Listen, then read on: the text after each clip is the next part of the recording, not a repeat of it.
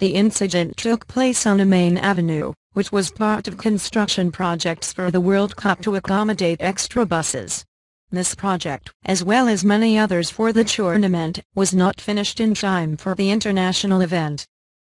An unidentified woman who was driving a commuter bus that was trapped by the overpass died, said Captain Federico Pascual of the Belo Horizonte Fire Department. The overpass collapsed about three miles from the Mineirão Soccer Stadium, which has hosted several World Cup matches in recent weeks and will host the semi-final match on Tuesday. Pascual said many of the reported injured were all construction workers working on the project. The overpass arched over a really busy thoroughfare, he said. Pascual added that he feared there may be at least one more death, as we still cannot get a look inside the car that was trapped.